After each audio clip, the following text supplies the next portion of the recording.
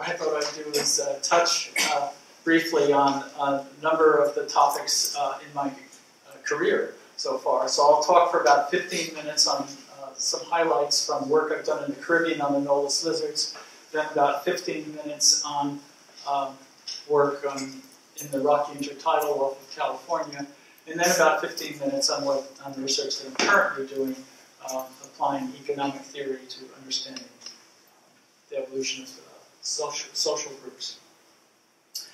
Now, the work that we did in the Caribbean uh, was in the Eastern Caribbean, and this is a picture of an anole. Um, so this is Anolis gingivinus from uh, the from the island of Anguilla. The Caribbean out here uh, consists of an island arc. The Eastern Caribbean consists of an island arc which is at the edge of the Caribbean plate. So the Caribbean plate was at one time relative to us in, in out here in the Pacific Ocean, and then as uh, and uh, as North and South America moved westward and sort of pulled apart from one another, basically the, uh, it looks relative to someone standing on North America or standing on South America. It appears as though the Caribbean plate came in through between North and South America. And it first headed up in this direction, so you find the Greater Antilles uh, uh, being formed at the edge of the Caribbean plate as it moved north. Then, for some reason, it changed and moved east. And so you get the Lesser Antilles out here as an island arc at the edge of the Caribbean plate relatively recently. Now, unlike the islands here in Hawaii, these things are really old. So in this vicinity over here where Guadeloupe is, there's actually Jurassic basement. You can go to near the island of Marie Galante and, um, and La Désirade and actually see exposed basement that's uh, from the age of dinosaurs. And there's Cretaceous uh, material uh, exposed off of Puerto Rico here. so these islands uh, have a long history to them, and as a result of that, there's an, an impact of uh, plate tectonic motion on the distribution of lizards. And so it's not purely an ecological story of competition and predation and so on. There's this signature of the ancient activity. Now, the research that we did began, though, from a purely ecological perspective. We um, did experiments to detect whether or not there's strong present-day competition between the lizard species on these islands. And we back up here and say, I should say that there are quite a few endemic lizard species on Puerto Rico and the other greater Antilles. But on each of the lesser Antilles here, there's only one species or two species of endemic anoles. And so it's been a case study for this, a case system for the study of character displacement because on the islands with two species, both body sizes are displaced from the body size on the solitary island. So if an island has one species, the snout vent length of lizard is about 60 millimeters. If there are two species on the island, one is about 40 and the other is about 70. And so this has led to uh, a lot of conjecture that there might be character displacement going on on these islands, which has led to the difference in body size in the two species islands. And because this is on a bunch of islands, you get potentially replicated instances of the character displacement process. So this has motivated a lot of the work here. But of course, if there is competition, then if you're going to make a theory about competition, you have to know that competition occurs. So this was uh, in the 70s, and a number of us in community ecology were involved with experimental studies to detect competition. And Jim Brown did a lot of this sort of work with uh, desert rodents at the same time. Now you can see right here the outline of a little enclosure, and here's another enclosure right here. And we had seven, we had eight of these, four of them on St. Martin, four of them in St. Eustatius. Here's the ocean out over here. And so what you do with these enclosures is you uh, remove the lizards that are in it, and then you stock it with different densities of lizards, and then you catch them, and then you see how well lizards grow in the presence or absence of a presumed competitor. And with this methodology, we showed that lizards do in fact strongly compete for food for, for insects. And that the strength of the competition depends on how similar the body sizes are. If you stock one of these enclosures with two species that are very similar in body size, they have quite a bit of competitive effect on each other. Whereas if they have quite a difference in body size, then the competitive effect's much less. And that was the first experimental demonstration that there was a difference, experimental demonstration of the assumption that there was a difference in competition that depended on difference in body size.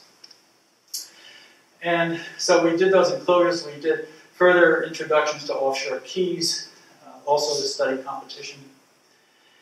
And, um, and then since these, uh, the theories in the wind had to do with whether there was any, um, any change in body size, we tried to, and, and did, um, find some sites at which to excavate fossils. So this is the island of Anguilla, where that picture was from of the lizard. And this is a, a, a limestone uh, platform here. And along these limestone cliffs, there are a bunch of caves.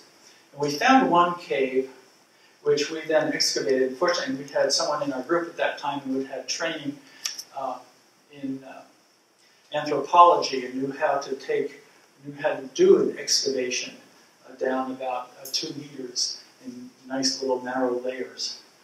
And so we were able to find fossil anoles, and, uh, and this is the uh, depth chart, went down five feet in these different layers right here. And um, the horizontal axis right here indicates the approximate snout vent length corresponding to the fossil. Now, in here you find lots of kinds of bones, but if you, if you get the jawbone in particular, you can measure the length of the jawbone and then do a regression of jawbone length against the snout vent length to come up with a pretty good assay. And it's, what we found was that the, the, um, body, the body sizes got bigger and then got smaller. Now, um, it's not quite clear what that means. The, uh, today, there is one lizard species on, on, on and its size is 60 millimeters, a solitary size. In historical time, there was a second species there as well. So there were clearly two species somewhere in this neck of the woods. And I should have said that this is carbon dated to 10,000 years down here. And um, uh, and one of the, and I'll come to this in a second, this is being still worked on, the, the, the specimens we took here. And so there's a five, there's now also a 5,000 year uh, dating in this neck of the woods too. So what this could indicate right here is that we had the smaller species, which is now extinct, then we had the larger species invade, and then the larger species become smaller after the smaller one goes extinct. Another possibility is that, that there was character displacement and that there were two species present, and this is simply getting bigger relative to the other one. But then you have to invoke some other explanation, such as climate change or something, which would account for its getting smaller. So the upshot of this is that we have more data, but the situation isn't resolved. And I'm happy to say that there's more information coming on it, because when I left Stanford in 2010, there was a student uh, with Liz Hadly, who's a paleoecologist, who wanted to work on this. And so she's been uh, working on it and extracting fossil DNA from these specimens. And, uh, and I anticipate that a paper will be coming out from this series uh, in about a year. She's nearly done with her PhD. And I just got an update from her this week. On the other hand, uh, if you consider longer history beyond the paleoecology, but into the plate tectonic scale, if you look at the distribution of lineages in the Eastern Caribbean, you have one whole lineage right here, which is the Puerto Rican one, comes down to this neck, comes based down here. Another one which occurs in the middle half of the Lesser Antilles, from Anguilla down to um, Guadeloupe. And these, as a, as a tree or as a clade, nest with the Puerto Rican ones. And then in the southern part of the Lesser Antilles, uh, from uh, Martinique uh, down through Grenada and wrapping around to Bonaire and Curacao, you get another whole lineage whose closest relatives are actually on the Pacific coast of Mexico, which relates then, which then ties into the early Pacific origin of the Caribbean plate. And um, so this has then led to uh, our account of the geologic origin of the Caribbean, based, if you will, on the uh, um, the phylogeny of, of the cladogram of lizards. And so you find the northern half of the Lesser Antilles and Puerto Rico migrating into the Caribbean area as one unit. And then you find the southern half of the Lesser Antilles being a separate unit right here. And they both come in separately because their differentiation from each other must have occurred back when the uh, plate was in the, in the Pacific. So this goes back quite a ways. Now, what's interesting is that when this plate goes uh, eastward along the side, along the, the north coast of Venezuela, it, I think of it as like a snowplow or a plow, which just uh, picks up exogenous terranes as it goes along, so that you wind up, if you've ever looked at a snow mound, a, a pile of snow in front of a snowplow, you find pieces of rocks and stuff stuck in it as it moves along.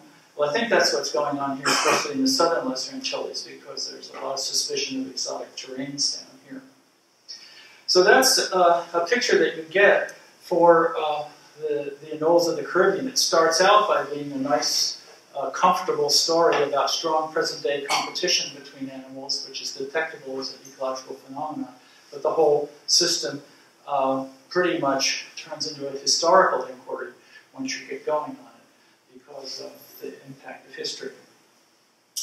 So, uh, as this was wrapping up here at this point, and I'm not a paleontologist, I really didn't feel like I could continue this work myself all that much farther. And I felt that I, had done pretty much what I could in the system.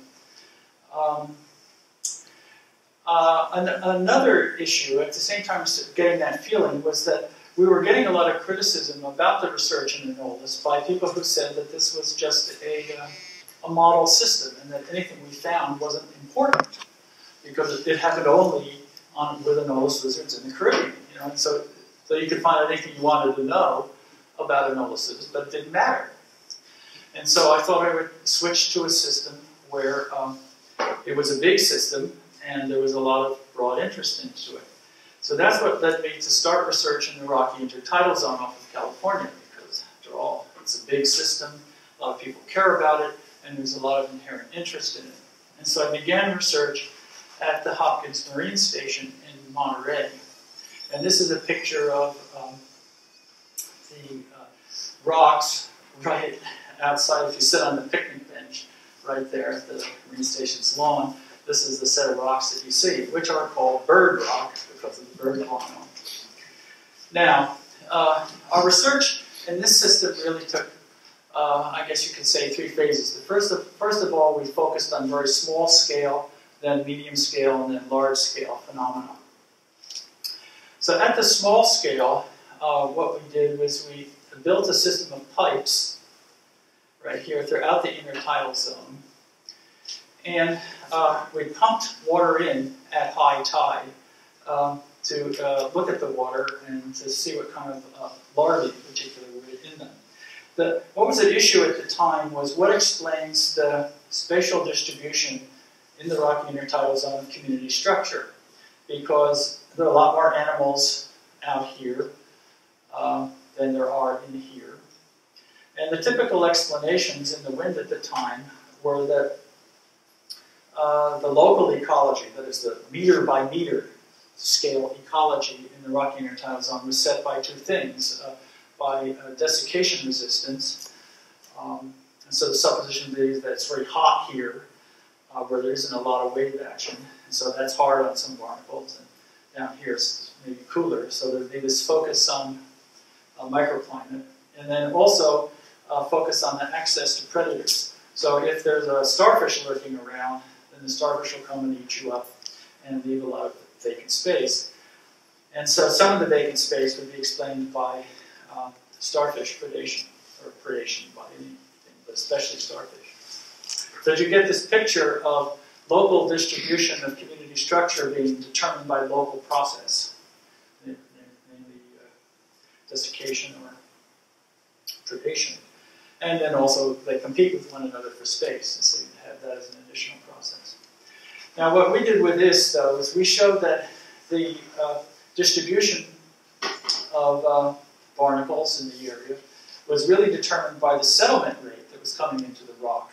So we implicated settlement rate as a factor, as or more important than predation or uh, desiccation or competition to determine abundance. So let me show you uh, a set of four slides from what happens at a, at a location, a spot out here, where there's a lot of settlement, and then show you another set of two slides from a spot where there's low settlement. So you can see a high settlement site rock and a low settlement rock. So uh, here, here's a little spot right here. These little uh, white areas are the these polygons are the ghosts of uh, barnacles past. Here's uh, here's some barnacles, and uh, there's some little specks here, which are uh, cyprids that have just landed. So then, uh, uh, two weeks later, those little cyprids are starting to get big and grow up. And then we get uh, a starfish that comes along and eats the big barnacles that were here. Meanwhile, these guys are growing nice and big. And then after that, they get nailed. And so what you do is you see in these high settlement locations this uh, uh, role of predation and opening up vacant space. But the only reason the starfish is there is that there's high settlement to get you lots of barnacles to attract them. So the starfish are not the cause of the vacant space, they're the consequence of the high settlement. In contrast, you go to a low settlement location in the same over the same time, and and here's what there is some vacant space. Here's a barnacle, and here's some algae. And uh, uh, and then in the same length of time, this barnacle got a little bit bigger, the algae got a little bit bigger, and that's about it. Here's a, limpet, another limpet that came into view. So, so the absence of, of anything going on here has nothing to do with the predator. It has to do with the fact that there's low settlement. And when there's low settlement, there's no action. So what the conclusion from my lab was is that the main determinant, we could say the main determinant, of local heterogeneity and community structure is settlement, local access to the water column that is bearing larvae. Now, from that scale, we kind of branched out a bit. Um, if settlement is so important, the question arises as to what determines settlement. So we had field stations set up out on the coast um, in a place called Granite Canyon. And, uh, and I should have said perhaps that, Mon- that Hopkins Marine Station, where I took those data to show you, was on Monterey Bay in Central California. And Granite Canyon is a station that's just facing the open ocean. Now, um, notice that there are episodes in here. There, uh, the hatched-in areas are times when the water, right adjacent to the coast, has high salinity. Uh, uh, sorry, high temperature, sea surface temperature here. High temperature, high temperature. These are high temperature times, and they're coincident with low salinity. So we have the arrival on the coast of high temperature, low salinity water, and those correspond with um, periods of recruitment. Right here, high recruitment. So we have this, and we have lots of, had, you know, over the years got lots of data of this sort, but you find this uh, nearly perfect correlation between the arrival against the coast of hot, fresh water with settlement. Now, uh, so that led us to inquire what's, what's going on. Now here's, Hop- here's uh, Monterey Bay and Hopkins Marine Station. The Granite Canyon uh, site is right here, facing the open ocean. And the offshore waters from California here is, is the California current system, which is largely a, a southward flowing uh,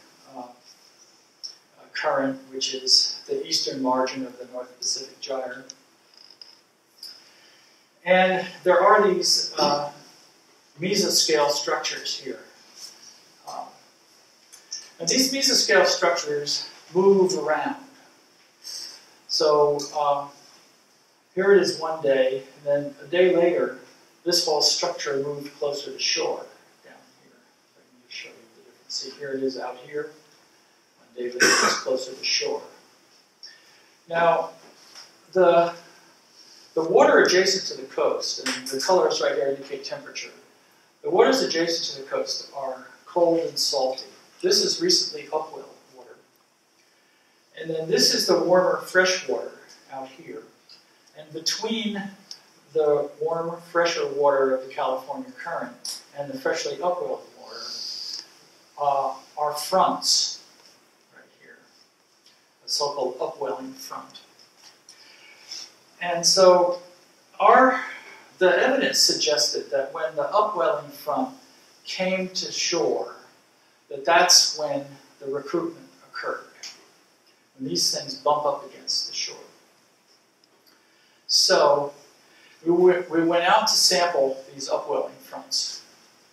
And we did so initially in just a fishing boat like this. And then um, we were eventually competitive to, uh, in this work to uh, get the point served with NSF, with NSF funding. And of course, when we were doing this work, it was controversial uh, because we were trying to explain local community ecology in terms of offshore processes uh, rather than in terms of local uh, dynamics. And, uh, and then after that, we had done, after doing all the field work in, in the ocean, uh, we also set up a, a, large set of sites running from, this was together with Bruce Menge's group up here, who was censusing um, off of Oregon and my lab was monitoring these right here from Mendocino down to Point Conception. And so we had uh, a, a, lot of data from a biogeographic standpoint as well as a mesoscale standpoint. And the bottom line from all this um, was um, a hypothesis that we that we we're working with, called, that we, we call the tattered curtain. We're trying to make something with a catchy phrase. And so if this is the coast along here, and this is the California current, and this wiggly line is supposed to indicate uh, a current that's punctuated, a curtain or a front that's punctuated, if you will, at spots by uh, off offshore jets, offshore going jets. And our assumption, our, our hypothesis for what's going on in, off of California right here is that the larvae are released along the shore.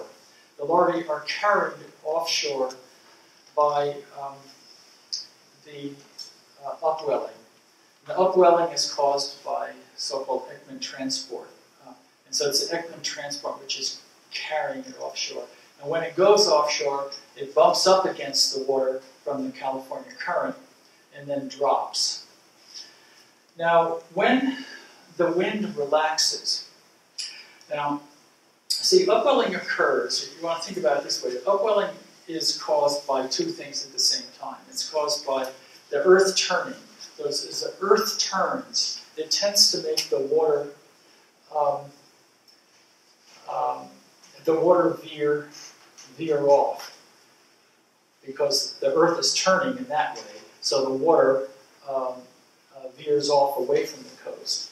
But as the, as the wind blows, the wind is also blowing it downstream, so that the net effect of the wind and the Coriolis effect is to cause for off, offshore flow, which tends to be heading south, slightly southwest. And when the wind stops, uh, the upwelling stops. And when the upwelling stops, then this whole structure can migrate into shore. When it comes into shore, it then deposits all the larvae. So that was our hypothesis, which uh, at the time accounted, I think, for pretty much the entire uh, set of data that we had. In the north, um, there's less upwelling, and so there's higher recruitment in the north, and the uh, intertidal studies in the north tended to emphasize local community processes, and we would say they are focusing on local uh, processes up here because of the high settlement, which then allowed things like competition and predation to express themselves in a local dynamic. Whereas down here, when you get to Central California, you know, biogeographically quite a bit south, you're getting a lot more upwelling, so, so by and large, the recruitment's a lot less, and so therefore community structure down here becomes more determined by oceanic processes than by local benthic processes. And so you get a latitudinal gradient in the relative proportion uh, or the relative importance of uh, offshore versus local processes. Now, amazingly enough, uh, just last month I was sent a paper by Cheryl Harrison. Um, and these folks have just published an article which basically revises, confirms and revises that theory that we put out about 10, 15 years ago.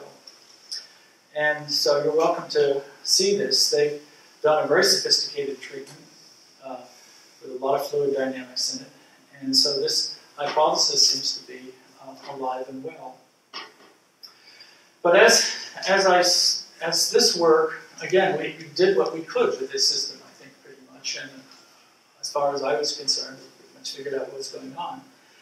Um, I became very interested in economics, primarily in connection with uh, the economics of uh, harvesting and uh, uh natural resource management, and published some papers uh, with Paul Armsworth on the connection between um, stability, ecosystem stability, and profit. Um, as you may know, the recommendation for the rate at which the, the, the economically optimal the economically optimal rate of harvesting uh, in a constant environment is to place the stock that's being harvested at an equilibrium point at a steady state point which is not stable to perturbation. And so uh, I criticized that as uh, being a problem. And, and there was objection to that, of course. And so what we then did was economic analysis to show that if you were to harvest, try to harvest a stock that was unstable at an unstable equilibrium, you'd lose money over the long run because the stock would fluctuate a whole lot. And so we showed, therefore, that you would actually maximize your profit if on an average basis you harvested less so that the stock could grow to a higher size, at which it would be um, stable. So we did work in this ecological economics area, and that's what set me up for uh, taking an economics approach to understanding social behavior. Now, this is the work I'm currently doing, uh, and it's focused on understanding uh, the economic incentives for cooperation in social groups. And here's uh, an example of the kind of process. Uh, I'll give you two examples of uh, phenomena we've been looking at. Uh, so this is called nuptial feeding right here. So this is about cooperation. And so here's a, a cardinal uh, giving uh, a male cardinal, tell from way it's colored, giving food to a female cardinal. And this happens in insects as well, where uh, a male will give a female uh, uh, a mass, which can either be uh, a secretion or bug.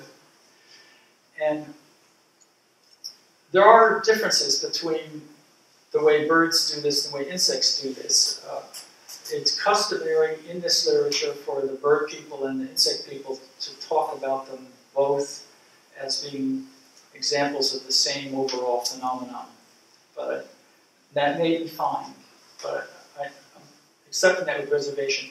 The reason is, is that the feeding uh, with birds happens before the mating goes on, whereas the feeding with insects happens during the mating.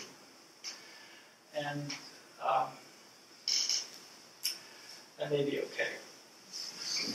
Uh, in any case, uh, uh, on a recent review by Lewis and South, Uh, nuptial gifts are, are, quite common in nature. Uh, I completely accept these definitions here. Nuptial gifts are materials beyond the obligatory gametes that are transferred from one sex to another during courtship or mating. And they have a nice classification of kinds of them. So, is the uh, gift itself exogenously produced, which would be true of, uh, for example, like the cardinals, which are feeding by giving, giving, giving insects or giving seeds or something. Or did they have to make, did the animal have to make the gift itself? Um, and then there are various kinds of species that do that. And, um, and then there's the method of delivery. Do they feed them? Then there's genital delivery, which is where the gift is bundled into the seminal fluid proteins or some spermatophores. And then there's the so-called transdermal delivery, which is where the um, gift, so to speak, is actually injected through the uh, skin. So this would be for subterranean animals uh, to a large extent, like earthworms. So all of these different species have um, um, behaviors in which there is some amount of uh, food or material that's given by the male to the female. Now, there's information about this. So, uh, there's the male's contribution to the female and the female's contribution to the male. So, I haven't found a species for which there's a complete data set where all the angles are covered. So I've wound up having to take data from different species and sort of to try to make a synthetic picture. So the horizontal axis here is number of salivary masses consumed. So, so if the female eats more salivary masses, the vertical axis here is number of eggs produced. So the female in this species makes more eggs with the food she's given.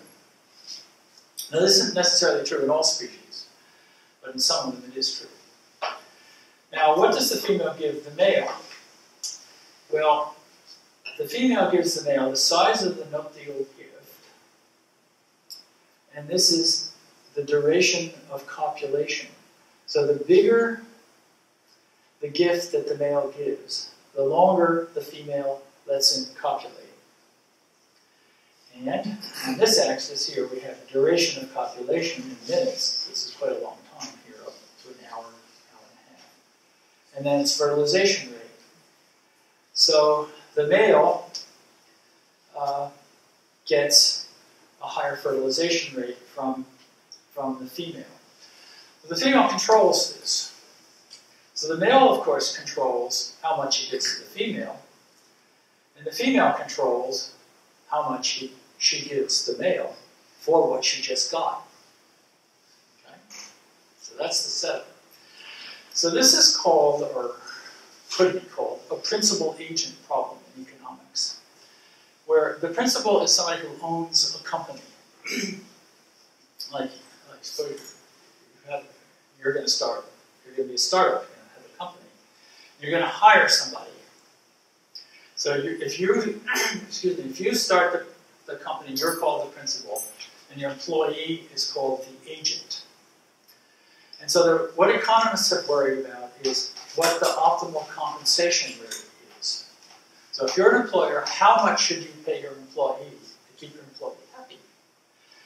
And then your employer, your employee has to decide whether or not to act on your behalf or to go and freelance and so the basic, this is the most, in many sense, the most elementary problem in the so-called theory of the firm in economics, is how to figure out the optimal relationship between the employer and the employee. And in our case right here, the female is in effect the employer, the principal. She's the one who controls the eggs. And so she's going to hire, hire the male to go get food for her. And so the question then of interest here is how much should the female give the male in terms of compensation for what's being done? How much should the male give to the female? And so this is uh, the typical formula being used uh, in this area in uh, the theory of the firm with respect to the principal agent model. So I've just kind of sketched it out here for a male and a female. And the left, the WF right here stands for the fitness increment that the female earns a day. Now, so I should make it clear, this is not a population genetic model. This is a behavioral. And so what I'm doing here is imagine that in any given day, the male and the female adjust their behavior so that they produce the largest fitness increment during that day. And then the next day, they behave however they should and make another fitness increment. And then when you get the fitness increments over the lifespan, that's where you get the genetic fitness that you'd use in an evolutionary argument. So this is being done at a scale underneath the population genetic scale. This is the behavioral time scale. We're doing day-to-day uh, behavior. So this would be the fitness increment of the female, and it's due to the to the to the nuptial gift and the courtship feeding. So operationally, I've distinguished here between a nuptial gift, which is food given by the male to the female prior to any mating taking place, and courtship feeding as food being given while the mating is taking place. And the reason for drawing the distinction right here is that the economists, and I think it's a good idea, the, the economists distinguish between what you pay to join the company. Uh, for example, if you were going to start your own little McDonald's, you might have to pay a franchise fee up front just in order to get in. And then you pay every year based on what you earn. So that's a pay to play.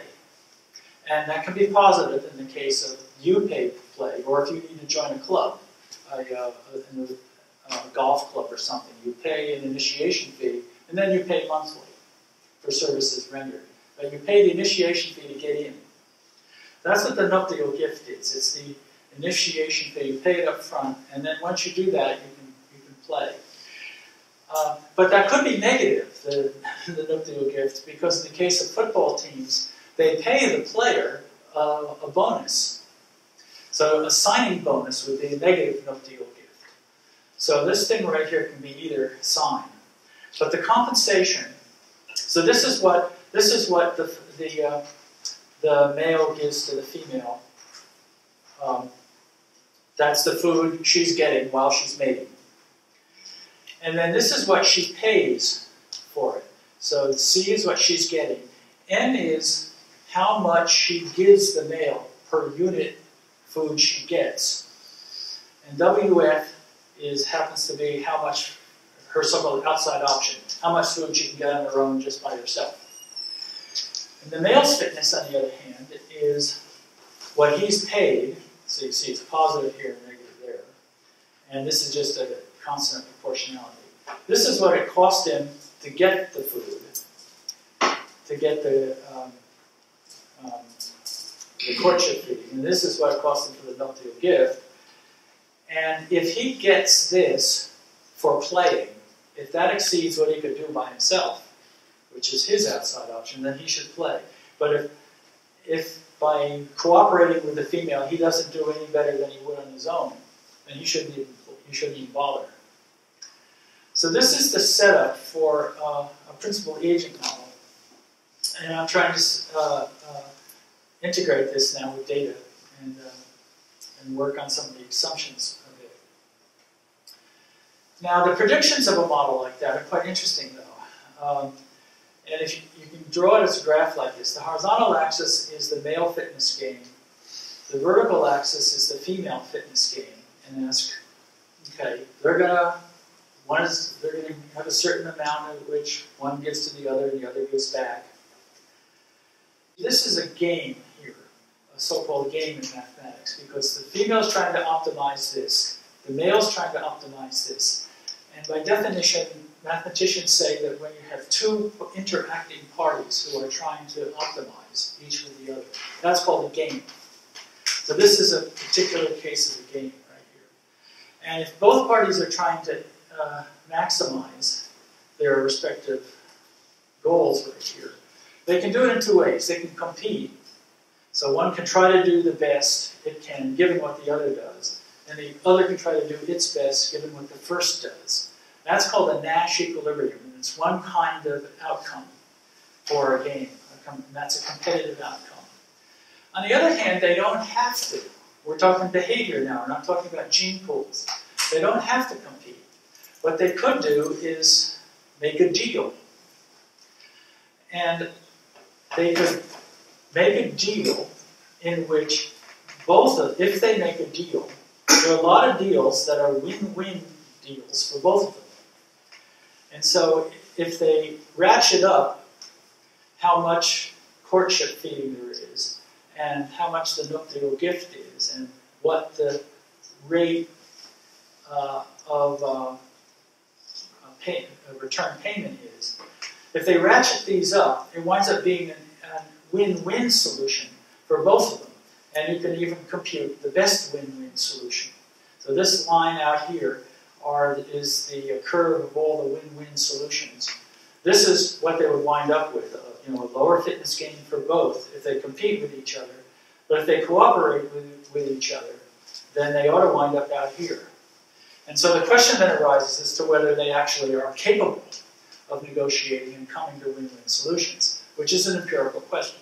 So I don't know the answer to. But there certainly would be a strong selection pressure for that capability. Now, um, another type of uh, a principle of firm that, that I've been looking into is in connection with the parent-offspring interaction.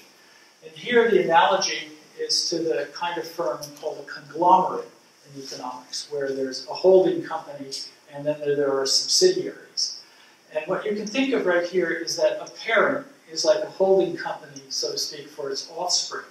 And a parent earn, earns its fitness because of the fitness of its offspring.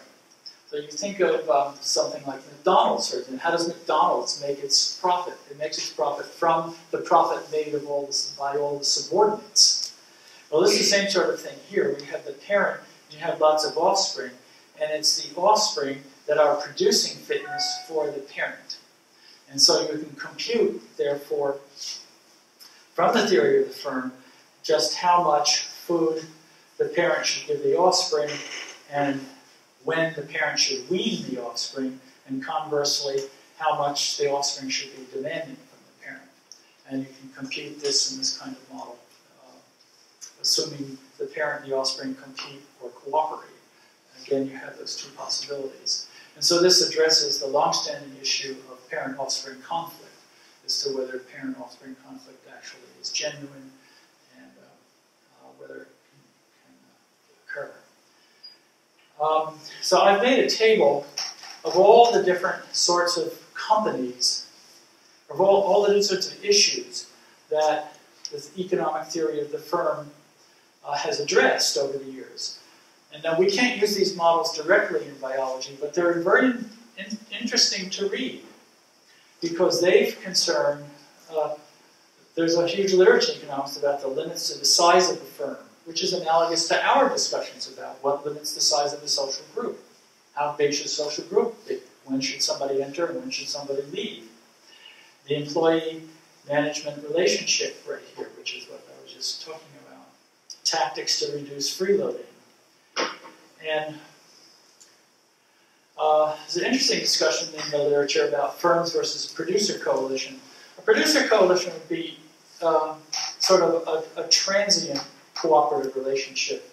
Uh, where you've seen, for example, mixed species um, feeding flocks underwater. If you've been snorkeling and you see sometimes a, I guess a parrotfish and a goatfish or something else, you know, they're swimming along together. You get a mixed species school, and they're they're not a long-lasting association. They just sort of come together, work together, and then go apart.